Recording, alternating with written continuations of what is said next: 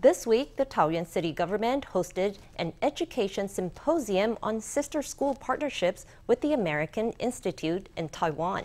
Following the conference, Taoyuan Mayor Cheng Wen-tsan invited the heads of three U.S. counties to a series of activities to experience the local culture. The three Americans were given honorary citizenship of Taoyuan to mark the growing friendship between Taoyuan and its sister cities. Taiwan and U.S. local government officials and education experts convened at a symposium under the U.S. Taiwan Education Initiative, which was launched in 2020 by the American Institute in Taiwan. My sincere and heartfelt thanks go to AIT for the assistance to make this event possible.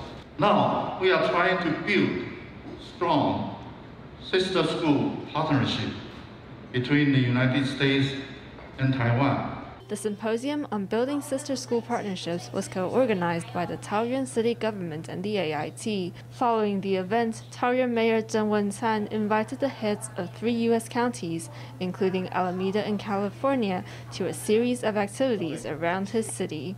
Displaying its abilities as a great host, the Taoyuan city government arranged an itinerary covering all of the city's major attractions to experience Taiwanese culture. They visited markets and enjoyed local delicacies while also interacting with local students. The U.S. representatives also tried their hand at traditional wood carving. At the end of their itinerary on November 16th, Mayor Cheng awarded the three U.S. officials certificates of honorary citizenship to recognize their efforts in promoting sister city relations. The three counties are all very populous urban areas in the U.S. They have excellent characteristics.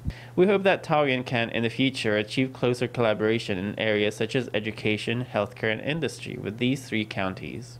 With the close interactions and exciting itineraries, the friendship between Taoyuan and its sister cities has grown to show to the world just what Taoyuan and Taiwan have to offer.